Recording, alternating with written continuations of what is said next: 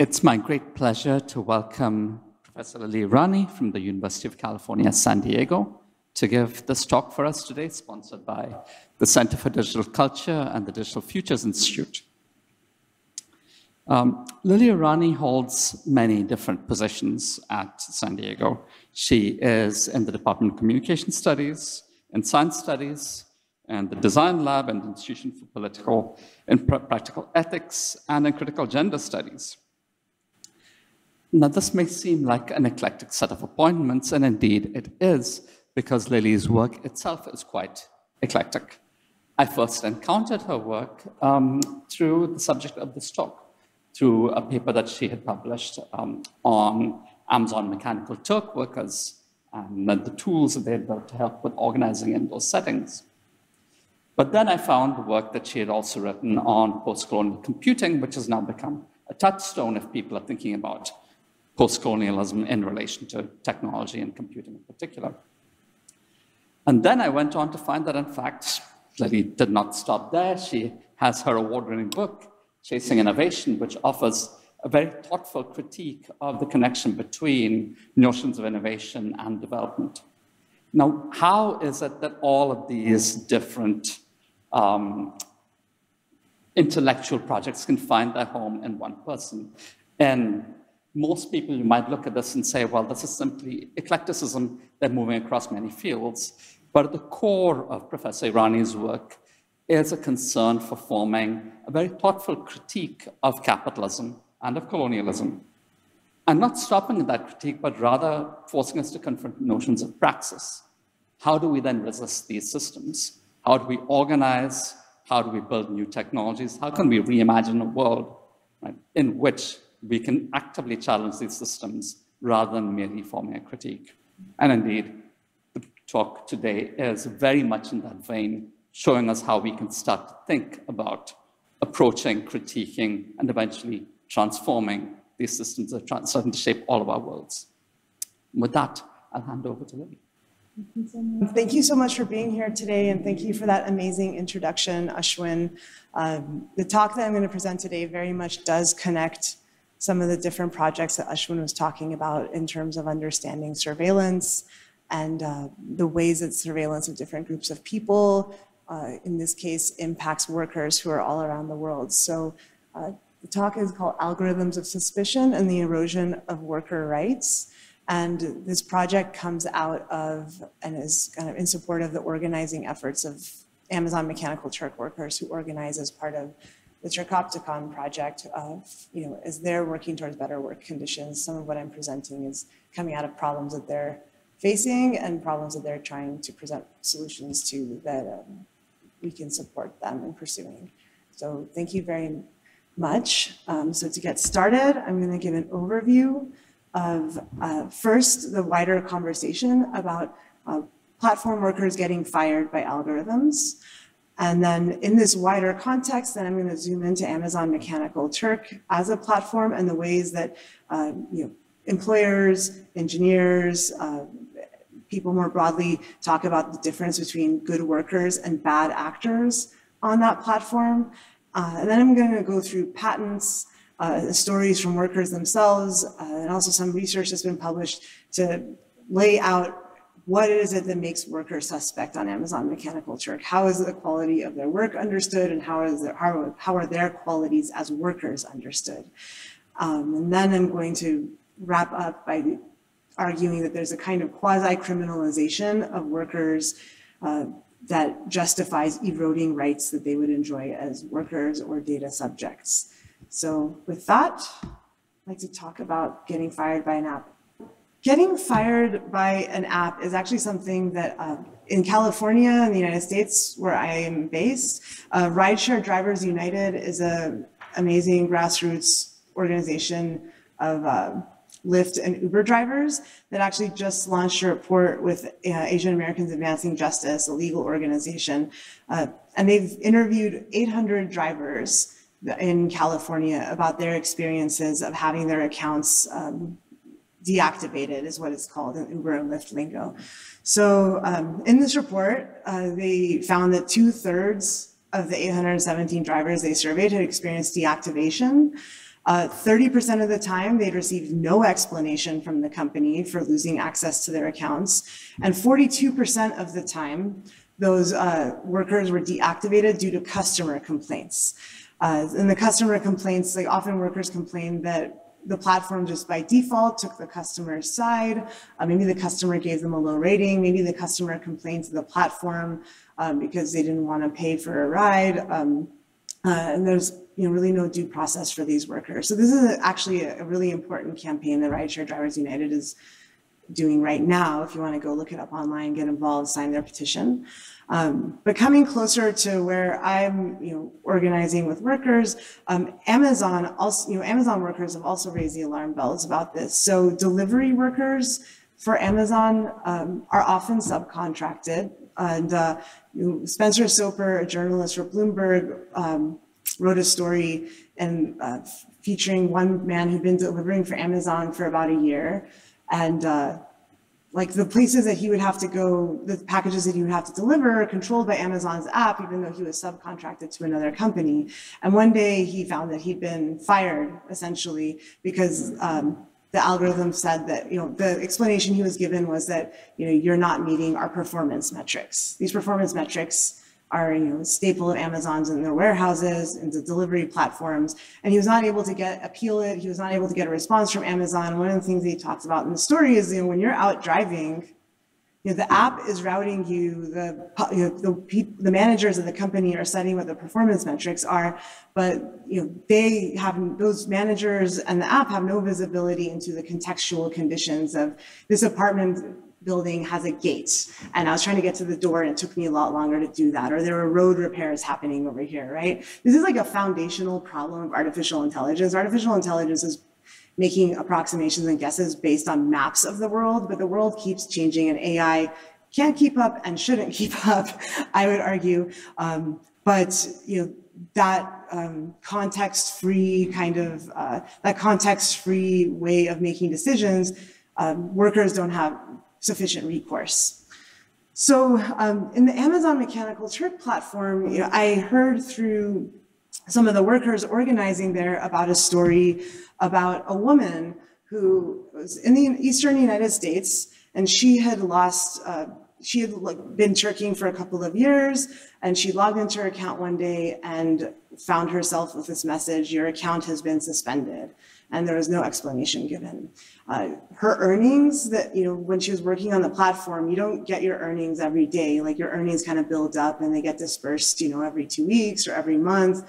Um, so her earnings were locked onto the platform. She couldn't log in and get those given to her. She couldn't get Amazon to respond. So she came to the organizers at Turkopticon uh, to see if they could help her push on this. And so Turkopticon workers had a contact within Amazon that contact agreed to look into it.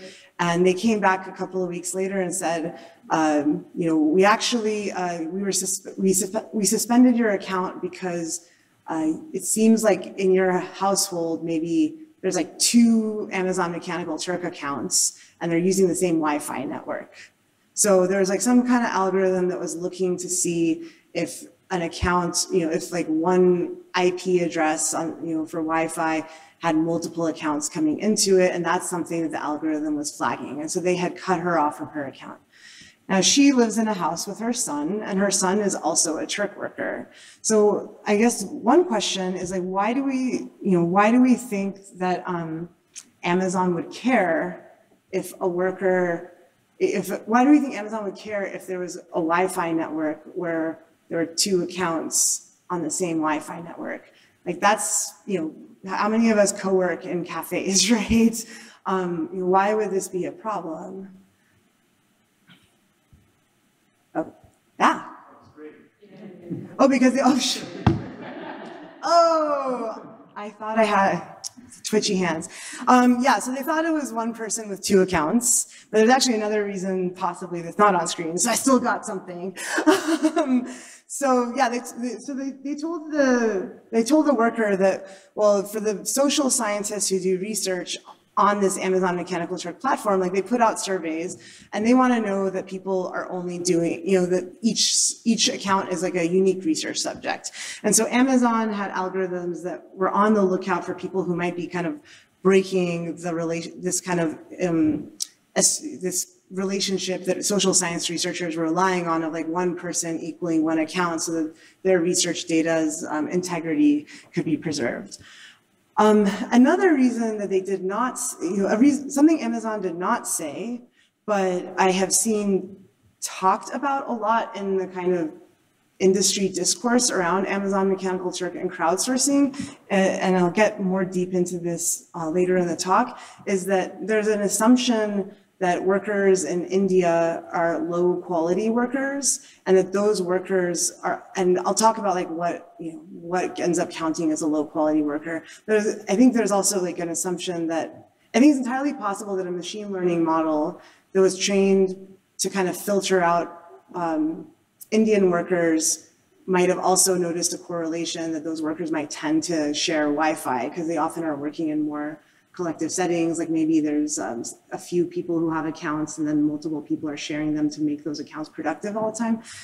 Um, part of the part of the problem is that we actually have no idea how these algorithms um, are being trained, um, what models of good or good faith or bad faith work that they're depending on, and then what kinds of proxies for good or bad faith workers they're depending on to detect and suspend accounts. So that's kind of how um, I I got concerned about this, and um, I just started. I just you know decided to go read what patents I could find that Amazon had filed for around issues like fraud detection, user authentication, judging worker quality. And so the data that this talk is based on is partly stories from workers and partly kind of reading these secondary documents, like listening to them talk at trade conferences about how they manage fraud, that kind of thing. So um, how many of you know what Amazon Mechanical Turk is? Few, oh wow, it's like maybe half, more than half people. Okay, I'm just gonna do a quick, I'm gonna do a quick explanation for the folks that are brand new to it. Um, and feel free to ask clarifying questions along the way if you feel completely lost. So um, Amazon Mechanical Turk is a gig work platform. So like Uber, like Lyft, you have um, a system, that's a website. Uh, you have workers who are all over the world, but about half of them are from the United States, maybe 20% are from India, and the other um, 30, the other 10% are from other countries. Um, those workers are logging in from all over the world uh, to see what data processing tasks are available um, so that they can do it. Uh, the people who are putting data processing tasks onto this platform, the customers of this platform, the employers on this Amazon platform, um, are often IT, uh, they can be social science researchers who are putting up surveys, they can be um, you know, engineers who are trying to create data sets to train artificial intelligence, so they'll put you know, pictures of visual surveillance and then ask people, ask the workers, you know, label the couches or label the cars or label the bicycles. So the kind of thing that we do when we do those reCAPTCHAs, where we have to prove we're human by finding the motorcycles, um, that is the kind of thing that Turkers get paid um, not a whole lot uh, to do. Um, you know, they might do like transcribing receipts. Uh, so some of my work, I've argued that um, Amazon Mechanical Turk workers uh, part of their essential function is to compensate for the places where AI fails. So, you know, so sometimes receipt processing companies will send receipts that are too hard for the AI to read. They'll send them out to workers on Amazon Mechanical Turk platform. Um, but also the function, an essential function these workers played for artificial intelligence is like they're part of the ecology of labor that um, creates the human categorized data sets that train artificial intelligence. And um, because culture is always changing, because roads are always changing, the world that AI is trying to reference is always changing, these workers are always going to be necessary to keep recalibrating AI. But um, one of the design features of Amazon Mechanical Turk for engineers uh, that rely on it is that they get to instead of you know instead of working in a firm where you got a bunch of engineers and you got data labeling workers and maybe they would meet at the printer the coffee machine and have to actually talk to each other um, instead you have uh, you know this platform basically allows engineers or employers to access the workers through writing code. So there's basically two ways that engineers can kind of see the worker. Um, one way is by you know literally like um, writing computer code that makes calls to the Amazon Mechanical Turk application programming interface, where you can kind of set up your task and then you can set the price on it and then you can in integrate into your running code uh, system that puts out work and then collects the results and disperses payment and kind of automates the evaluation of the work. Another way that's not visualized here is kind of the default way is through um, basically spreadsheets. you know, when you go into the platform, if you're a social science researcher doing a survey, or you know, if you're just an engineer who wants to get a big batch of um, pictures processed, you know, you might see like, pages and pages of um, worker ID numbers, long worker ID numbers, no names, no places. Um, know, you know, is this their main job or their second job or something they're doing, you know, for pocket change, just streams of ID numbers of the work, um, the worker ID and the work task that they did. So this is like a highly abstracting platform. It's not like Uber where you catch an Uber ride through the platform and then you sit with the driver for a while. So, um, so the purpose of Mechanical Turk then is to kind of provision the social cognition that people develop over their lifetimes as workers, as participants in culture, as learners of languages, as people who learn how to like read a blurry receipt, as people who learn how to kind of listen to and transcribe like a bad English or Spanish recording. Uh, it, it, basically creates a platform for allowing engineers to extract that um, in a, in a, and automate the extraction of that um, into AI and information technology supply chains. Um, and so a, a key feature of this platform is you have people who are trying to build the systems that provide intelligent answers or intelligent categorizations or intelligent behavior. But you also have a system where the people who are profiting from that do not want to make an investment in actually judging whether something is accurate or whether something is true. They don't want to invest in fact checkers. They don't want to pay, uh, you know, they don't want to invest in getting to know their workers and understanding whether the workers have the kind of knowledge to really like make accurate judgments about the questions, the tasks they're asking them to do. Um, so uh, instead, there, there's various approaches I'm going to describe where managers try to kind of automate the process of judging which workers are trustworthy for providing these answers for the AI that's then being fed into our other systems. Um, this problem of figuring out how to trust people at, at scale and keep out those you can't trust uh, in Amazon Mechanical Turk world borrows language from cybersecurity discourse. So uh, in cybersecurity discourse, you know, you have people who manage large scale systems. I mean, here we have Ashwin, who's kind of a world expert on this, so your feedback is very welcome. But um, you have people who are trying to maintain servers and model threat actors and then secure the servers, um, you know, against quote bad actors. Um, so you have a set of professionals who are used to talking about how to securitize systems against actors whose context or reasons for acting they cannot know. Um, and then in the world of Amazon Mechanical Turk, uh, it is common for employers uh, to, and actually Amazon itself to also talk about uh, people using these systems as potential, you know, threats to task quality. So um, this top image here is from Amazon Mechanical Turk's kind of product blog. And they talk about updates they're making to maintain marketplace integrity, um, to ensure task quality and keep, uh, and to remove, quote, bad actors from the marketplace. Uh, this image below is a screenshot of a political science publication where they are also concerned with characterizing um, you know, how to deal with a large number of, quote, bad actors that are on the platform. So both the Amazon as like the platform designer um, and the people who are employing workers through the Amazon platform are concerned with how do we know who to trust and who is a threat. Um, and this language of bad actors kind of marks um, and flattens the lives of people like this woman who is sharing Wi-Fi in her house. So what is it that we can start to suss out about what makes workers suspect on Amazon Mechanical Turk. So I wanted to start our journey into the our journey into the black boxes um, by examining a very basic feature of Amazon's platform design, which is the worker approval rating. So when you're an employer going to the Amazon Mechanical Turk platform to set up a task, uh, you, know, you, can like design your survey or you can design the web page that's going to like feed the images you want classified, you know, into that task. And then Amazon asks you what worker approval rating will this task be open to? So a worker approval rating is basically the percentage of tasks a worker has done that they have been paid for. Because Amazon's platform basically tells employers, hey, if you put tasks on the platform and you don't like the results workers give you, you can just not pay for those results. So you do that by clicking disapprove.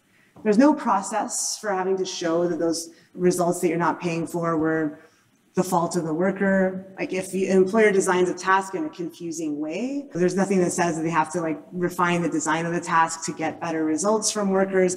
It's just the platform basically enables the employer to unilaterally disapprove of a task and without due process, the worker doesn't get paid for that work and the worker's approval rating goes down. So one thing that can happen on the platform that Turkopticon is actually organizing a campaign against is something workers call mass rejections. So um, an, employer might come onto the platform and have a huge number of tasks that they, you know, data, like images they want processed. Um, and maybe this is a new employer, doesn't have much of a reputation. Um, and so as workers go and work through the tasks, and then they wait to see, okay, is the employer going to pay for the tasks or not? Uh, a mass rejection is when an employer actually just decides not to pay for, you know, 90% of the work that workers did for them on that task. So like a, so a company can just take all of the data that was processed and say, all of this I'm going to reject. And so then you get workers who are in their forums online, on Reddit, talking about like, we all got rejected. Like there was a company called AI Insights that rejected, you know, something like 99% of the task. Like no workers were able to stand up and say, I got paid by them, right? So they're all figuring out that they all got rejected by this employer through their forum conversations.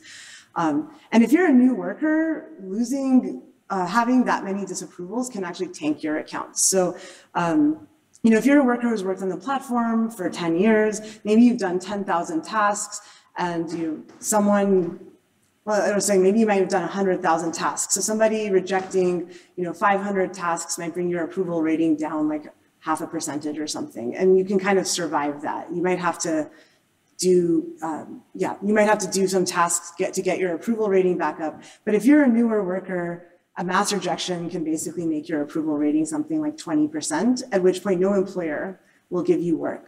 So you're looking pretty horrified back there. And I feel like that's like the correct reaction. I, I feel like you, you understand what's going on, I feel. um, so Amazon Mechanical Turk, while the task of figuring out like, was it a task design problem? Was it a misunderstanding by the worker? Was the worker really just trying to phone it in? Well, that's complex. When one company rejects 90% of the work they get, that is less complex. And so that's something workers have been trying to get Amazon um, to develop mitigating policies around for the last year and a half. And Amazon, quite frankly, has been dragging their feet on it. Um, so this worker approval rating is like one part of Amazon's signal of who's a good quality worker. And as we could say, it's already kind of troubled from the start.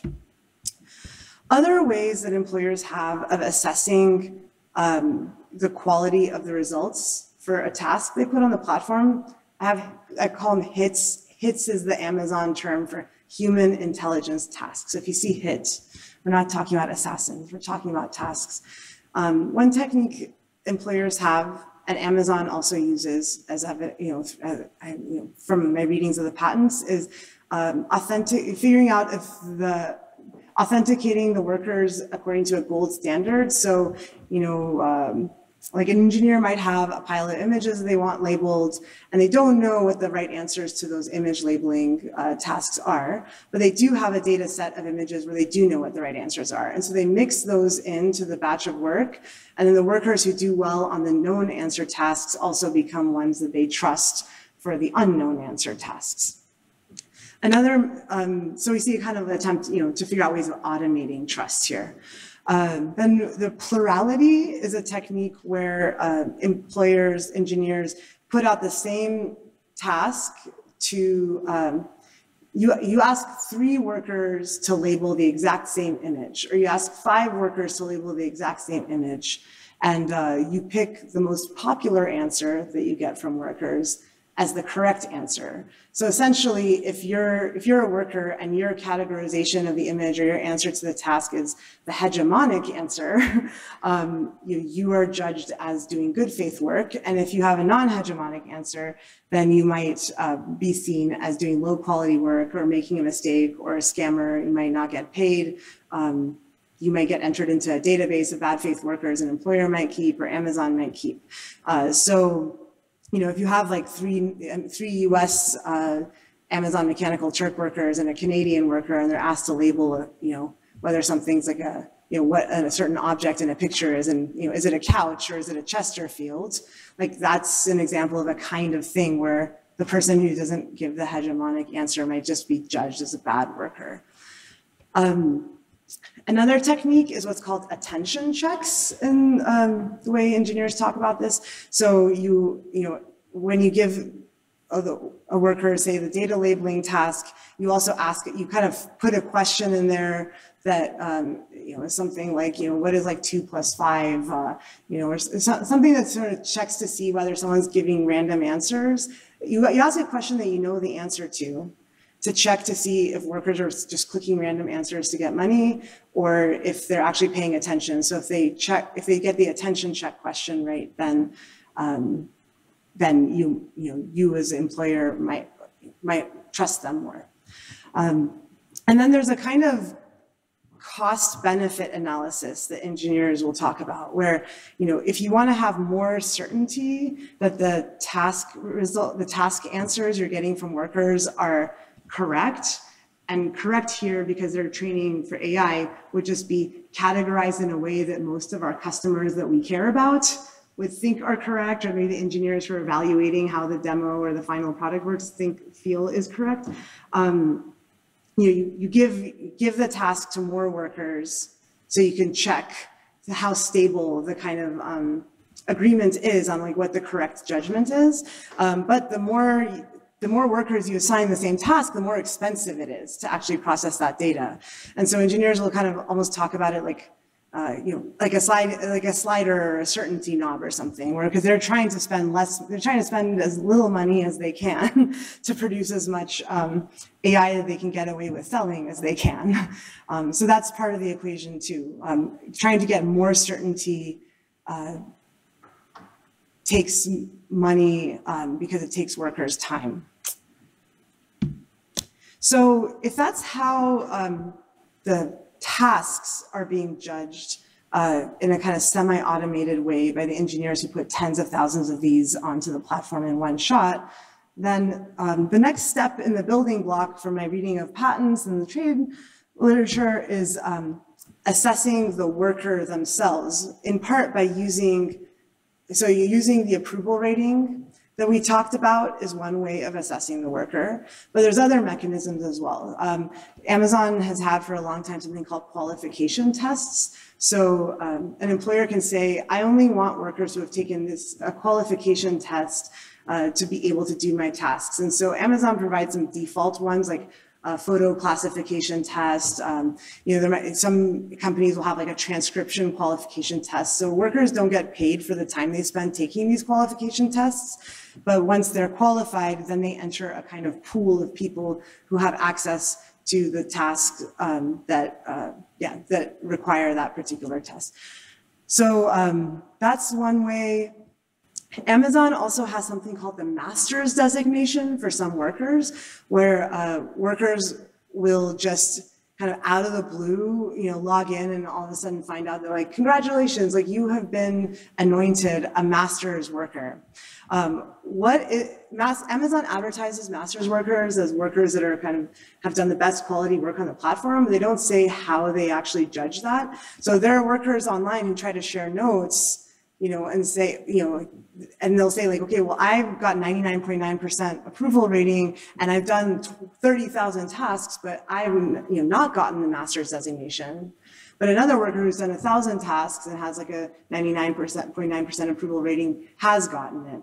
Um, so there's some patents that kind of give hints at the way Amazon might be scanning workers on the platform um, to designate them as masters and maybe suggests that Amazon places tasks into the pool of work that workers can do, and perhaps um, those you know, workers who are lucky enough to stumble upon these tasks are the ones that kind of get, you know, Amazon then marks as the ones that they um, they're going to designate as like more trusted masters. Um, but there's consequences for workers of not being designated a master. So when you uh, for when employers go onto the platform to design the task that they want done, they have uh, the default, um, you know, where they set the approval rating, Amazon also checks a default box um, and opts them into only using the master's worker pool because I think Amazon wants to have kind of neophyte employers like have a good experience on the platform. And so they just kind of, so, so Amazon basically feeds a lot of work onto um, these higher quality, you know, these putatively like higher quality workers. Um, of course, sending a bunch of brand new employers who don't know what they're doing to these longstanding workers is also possibly a recipe for pain for those workers. And um, that's not really something that you know, as we see with the mass rejections campaign, Amazon does not take a lot of responsibility for the effects of workers, uh, sorry, does not take a lot of responsibility for employers' mistakes and how they harm workers. Um, so there's master's designation is one way that Amazon sort of has, uh, you know, in one patent it indicates it might have a trust score for certain workers that it keeps behind the scenes. Um, and then you know, we've referenced this already with the Wi-Fi story, that there's machine learning for risk monitoring. Um, for fraud detection that uh, some of their patents talk about. So in one example, uh, and I'm going to go forward to show you. So in one example of this patent, uh, this is actually not a patent for an Amazon Mechanical Turk specific thing. This is a patent about authentication and fraud detection based on user behavior. But I know from talking to engineers who worked at Amazon that the fraud detection algorithms that get developed in one part of the company also get reused across the company. So in this patent, um, what the engineers are describing is, um, you know, what happens when you log into an Amazon system. And so what could happen is when you log into an Amazon system Amazon keeps a profile of your user behaviors. Like what do you, what objects do you click on on the website? Which subsections of the site do you go to? How fast do you do it? What are the hard, you know, what are the various like hardware addresses on, you know, your devices? Um, maybe, you know, what are the font settings of your browser? You know, they call this like browser fingerprinting. What are the settings on your browser? So um, by amassing a kind of data profile of your behaviors and your settings, then if the idea is that if somebody else tries to log into your account, that they can, the you know, machine learning algorithm will like notice that there's something different about this pattern of user behavior, device fingerprinting, um, and that you, that login should be challenged with a CAPTCHA or a phone call or like, you know, um, two-factor authentication. You know, all that sounds great. Like I don't want people buying stuff on my Amazon Prime account. Um, but for, you know, for workers, you know, this could mean that if somebody has a variability of behavior that, you know, say they get repetitive stress injury from all the click work and they start actually accessing the browser in a different way. They start using the tab key more, or they start accessing it, you know, slower. So the time signatures are different. Like that variability of pattern, and this is where my talk gets very speculative because I'm just trying to read the paths to think about what the effects of these suspicion uh, this, uh, this, these kinds of mechanisms could be. Like, could that be the kind of thing that would be flagged and lock a worker out of their account? Um, and the other thing that's interesting to me about this, uh, problematic to me about this, is the way that there's an expansiveness of data collection that is justified in the name of performing fraud detection. Um, and so this, you know, the system is tracking the kinds of data that it can easily access, but collecting it quite expansively instead of trying to design a system that maybe gets at more what are the workplace system design problems that are specific to this context that would actually um, make people better able to uh, may, maybe make the managers the system better able to actually detect bad faith work efforts. So um, there's a story that uh, for me, I think illustrates there's, that there's also a racialized dimension to what comes to count as fraud among employers and among the platforms. So uh, has anyone, so for those of you who know about Amazon Mechanical Turk, has anyone heard of the bot scare of 2018? Okay, so in 2018, there was this uh, psycho psychology researcher who made a, um, who made a discovery that, you know, he was looking at the results of his psychology experimental task and he was like, okay, they're getting like a lot of bad results here.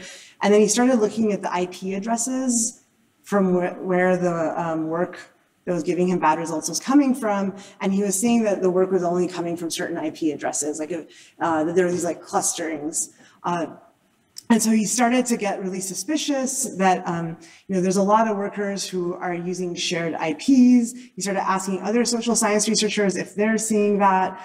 Um, and so kind of all across the internet, there was like a moral panic about all these fraudulent workers who are, you know, in click farms. Like people filled in the image. Like there's fraudulent workers in click farms where they're all on the same IP address and they're doing low quality work. Um, now you can have a shared IP address because of the way your ISP is set up, or maybe because you're using a VPN to, you know, mask your uh, to have privacy. Um, but so then there was a couple of researchers who started trying to un- understand, okay, like are, so it was called a bot scare because um, one of the stories was that these workers in the click farms were also maybe using just automated scripts to provide answers rather than applying their actual human judgment. But the kind, so uh, some of CloudResearch was one company that did a study that I found very um, illuminating, kind of maybe reading against the grain of it a little bit. So what CloudResearch, crowd research wanted to figure out um, are these bots? Are these really automated answers? Are they um, people that might not understand the answers to the questions that are being asked or something else? So they designed a task that had a bunch of different kinds of questions on it. Um, so, you know, one of the tasks, one of the questions in the task that they put out onto the platform was a CAPTCHA. So, you know, we know what CAPTCHAs are. And so they've actually figured out that there are very few automated scripts being used. The people were very successful at answering the CAPTCHA questions across the board. Um, and then they asked a set of questions like, you know, uh, you know, transcribe this piece of audio, the kinds of things you would see on the platform. And they did find that there was a kind of difference. There, there were like wide variations in like the quality of how people did those tasks.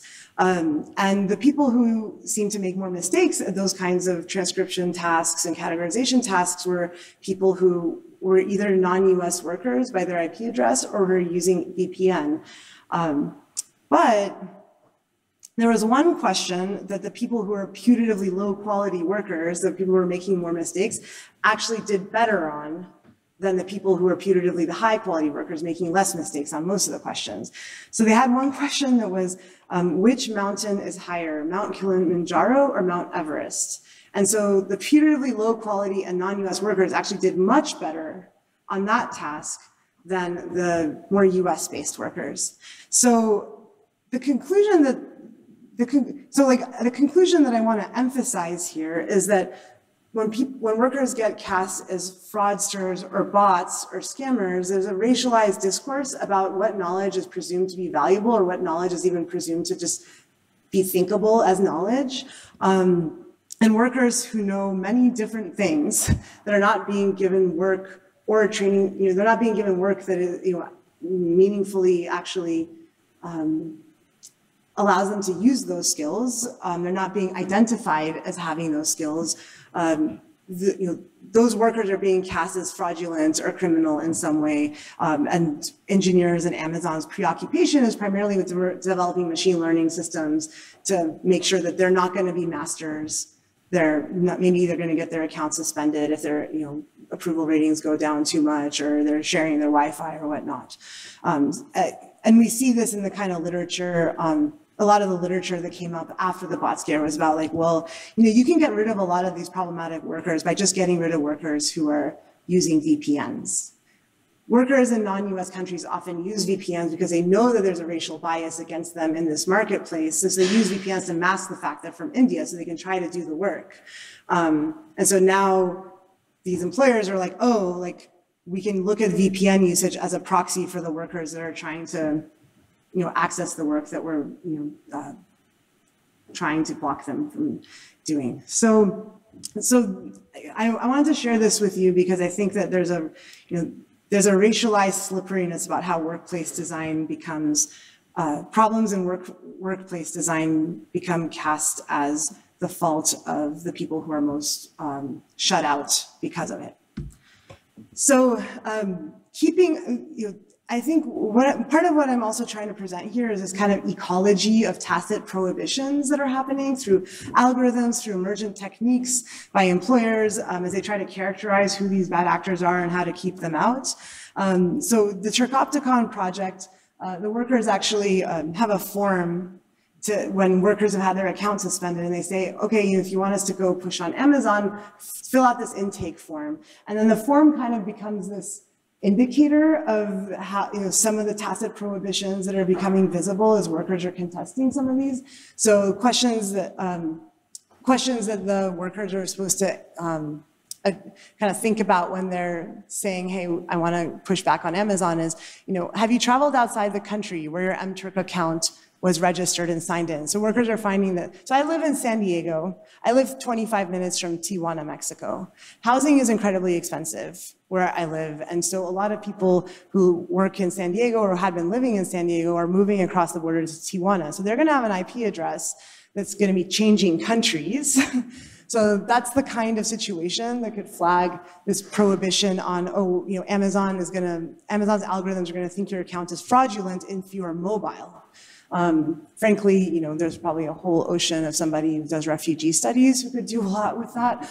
Um, you know, are you on a network where others could be on the same Wi-Fi while you're working? Um, does anyone else in your household work on MTurk? Do you use a VPN to access MTurk? Have you connect? Uh, so, so we've already talked about stories that explain some of how these kinds of issues come up. Um, so. Uh, but currently there's no there's no actual process. You know, uh, sometimes when Turkopticon workers submit these submissions, it basically goes into Amazon's black hole. Once in a while, like with the mom on the shared Wi-Fi, Amazon admits that it made the mistake. Amazon does not pay for the lost wages when it, it, does admit that it made the mistake, but often it goes into a black hole and Amazon says that it won't share information with worker organizers because of their privacy policies respecting the privacy of the user the worker who actually asked the worker organizers to get involved. So they don't have um, a formal, there's no formal recognition that workers need to actually be able to share information together to kind of um, push for being treated better. So I've kind of been describing this like the stack, this ecology of techniques. Um, but one thing that terrifies me, and perhaps it might terrify you as well, is that um, Amazon's never satisfied to take a technique it uses on one project and then just like let it be for that project.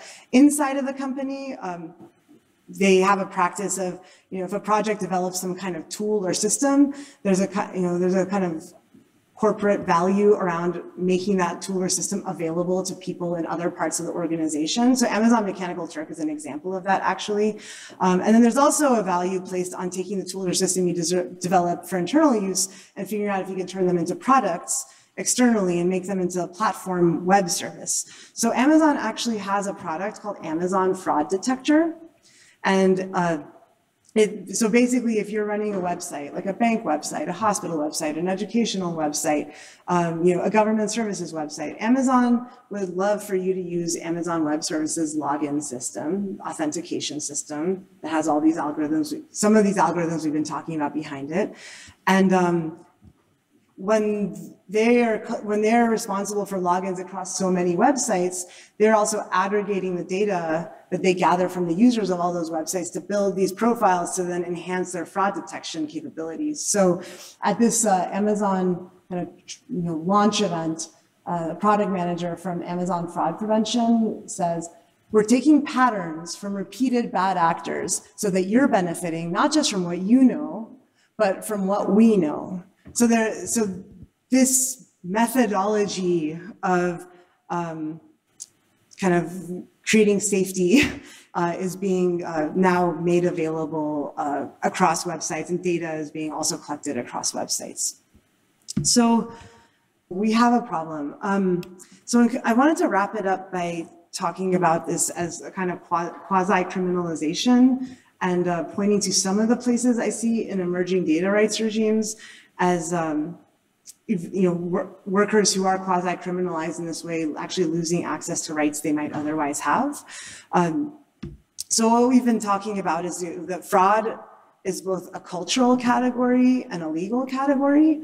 Um, under the law, fraud actually requires, I believe, I'm told by lawyers, uh, criminal intent to defraud, but we're not, you know, that's obviously not, you know, fraud is being used as a cultural category in these technical systems. Like engineers are talking about bad actors, they're talking about fraud detection, but it's not, but they're not doing the work to establish that intent exists, right?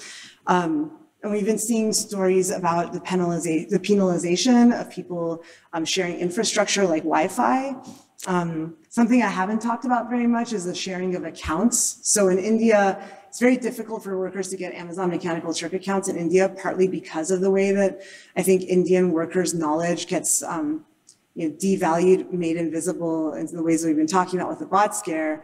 And so then because workers can't get accounts, accounts become incredibly valuable, kind of like taxi medallions used to be. And so the people who do have accounts sometimes then have multiple people working on the account to keep it productive and keep it earning.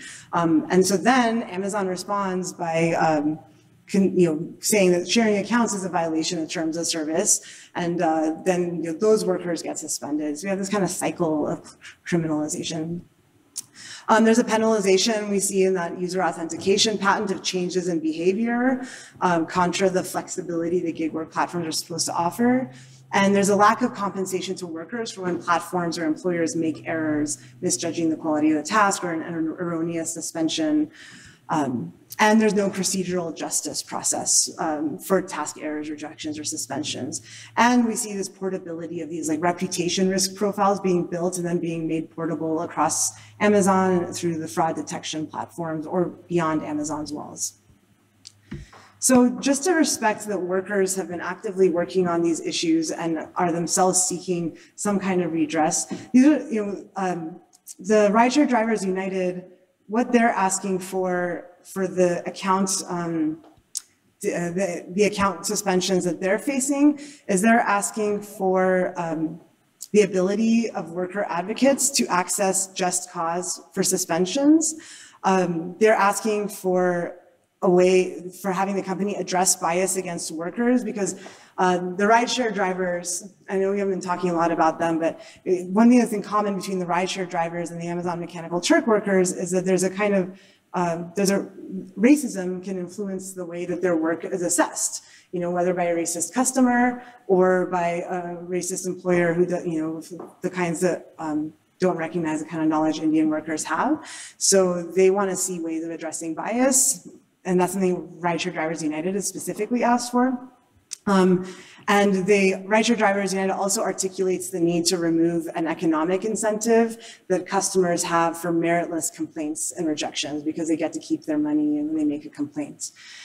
That last demand is actually over, overlaps a fair bit with what um, Amazon Mechanical Turk workers have been campaigning for, which is the ending of the harm of mass rejection. So they, you know, currently they have had a petition out for about a year I, there's 2,500 signatures, but I'm sure at least like several hundred of workers signed this because this is like the baseline of, you know, workers disagree on a lot of things and it's really hard to organize a kind of united front in this kind of atomized, dispersed, internet-mediated workplace. But this is one thing they all agree on, um, and they've the workers have even suggested a mechanism to Amazon saying, "Hey, you know, it's fine if you want to let employers reject our work, but at least cap the impact that that rejection has on our approval rating. So if one employer decides they don't want to pay us, you know, we don't lose access to all the other work because of a bad requester. So you might think they could ask for more. I hope we see a world where they feel like they can ask for more. And this is what they're asking for right now. Um, as a tactical tool for workers organizing data rights, you know, so like labor rights have been difficult because workers are classified in these systems as independent contractors. Um, rideshare drivers have had some success trying to organize for uh, employee recognition, but that's really, and then companies have responded by trying to get in the way of that. But um, data rights have been a tactical tool. Uh, like in Europe, Uber drivers were able to use GDPR to actually contest an algorithmic account suspension by arguing that there's an article of the GDPR that was violated because um, I think workers didn't have due, I think workers didn't have like you know adequate transparency into why that automated decision was made. Um, but in, in California, where I live, um, where we have some of the str more stronger data rights in the United States, uh, as we've been trying to brainstorm like what workers might use to get more leverage to even um, starting to get due process around these decisions, um, we've mostly been seeing fraud um, fraud detection as a loophole to these data rights regimes. So California has a law, the Marketplace, uh, it's like a Marketplace Sellers Act that's meant to give the kinds of people who sell their labor on Mechanical Turk, that sell tchotchkes on eBay, people who are engaging platforms as marketplaces, rights, you know, if their account is suspended. So they can ask for data about you know, how that decision was made. But there's a loophole that says that companies do not have to actually provide, um, they do not have to provide the kind of transparency this law dictates if that transparency would hinder any uh, investigation or prevention of uh, deceptive, fraudulent, or illegal activity. Um, you know, so basically, like, there's this loophole where if a company, if Amazon says, oh, but we need to keep this data and we need to not show it to workers because it's fraud, you know, we already see that Amazon is like pervasively using that language to describe workers who are um, being misunderstood by the algorithms. The California Privacy Rights Act of 2020 um, also, you know, its initial version approved by the legislature basically provided a loophole where, you know, workers couldn't ask to see their data. Well, so workers are, platform users of very large companies are supposed to be able to see the data that um, companies have of the, on them and also request that it be deleted. Uh, and so this could include platforms that workers use, not even those designed for consumers. But the initial version basically had a loophole for companies um, to detect security incidents, protect against malicious, deceptive, fraudulent, or illegal activity, or prosecute those responsible. So basically it said that, you know, companies are not required to comply with a consumer's request to delete in those cases. Um, the updates to this actually just harmonize the language with GDPR language. But GDPR language is that you know, security and integrity of the system, um, you know, when security and integrity of the system necessitate not deleting the customer's data or being transparent, then they don't have to do it. So, um, so part of the purpose of me kind of talking to people about this is to kind of get people who are thinking about consumer data rights and creating some of these emergent rights regimes that could be very important to workers using these platforms on the ground for them to recognize um, some of you know, some of what happens when they allow the category of fraud as a criminalizing label to obscure struggles that are really over working conditions, that are really over organizational design questions. Um, so with that, I'm really excited for the discussion and I want to thank you and um, yeah, and I'm looking forward to what I have to learn from the work that you've been doing. Thank you.